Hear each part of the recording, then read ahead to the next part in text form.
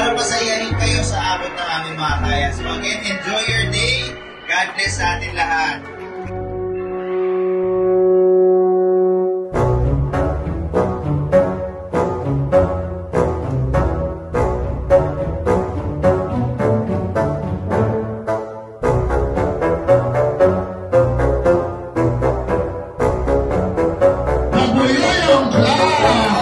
Hello!